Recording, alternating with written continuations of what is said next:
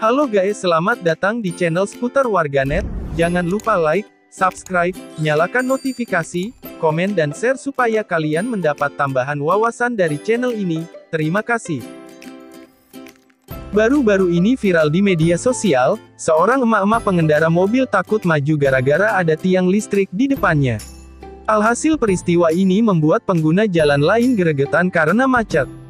Video tersebut diunggah oleh akun TikTok ST Tawar memperlihatkan kondisi jalan yang macet parah.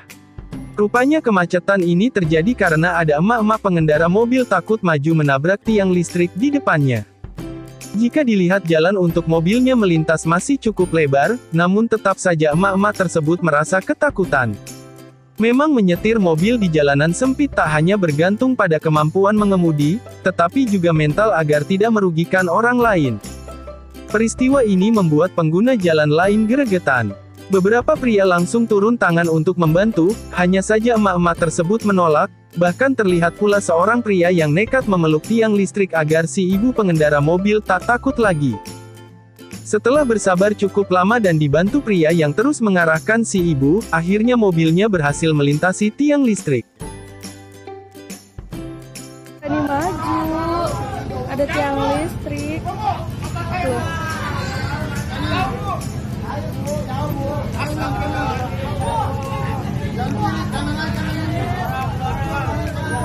Ya, jadi macet ke mana-mana cuy.